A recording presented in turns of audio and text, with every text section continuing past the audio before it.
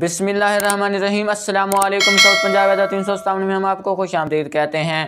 آج جمعۃ المبارک، فروری دو ہزار بیس کی چودہ جماعت الثانی چودہ سو اکتالیس ہجری کی انیس اور پھاگن دو ہزار چھہتر بکرمی کی آج تین تاریخ ہے۔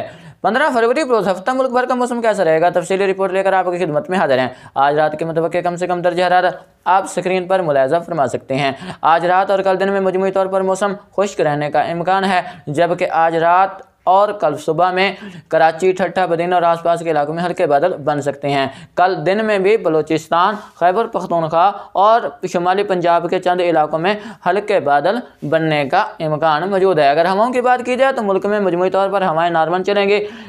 پنجاب کے شمال مشرقی علاقوں میں ہواؤں کی رفتار سترہ سے بیس کلومیٹر فی گھنٹہ کے درمیان رہ سکتی ہے۔ جبکہ خیبر پختونخوا میں ہواؤں کی رفتار نارمل رہے گی۔ بلوچستان کے شمالی اور مغربی علاقوں میں ہواؤں کی رفتار پچیس سے اکتیس کلومیٹر فی گھنٹہ کے درمیان رہ سکتی ہے، جبکہ بلوچستان کے جنوبی علاقوں میں بھی تیز ہوائیں چلنے کا امکان ہے، جن کی رفتار پچیس سے پینتیس کلومیٹر فی گھنٹہ کے درمیان رہنے کا امکان ہے۔ اگر ویڈیو پسند ہے تو لائک اور شیئر کر دیجیے اگلی اپڈیٹ تک کے لیے اجازت دیجیے اللہ نگہبان۔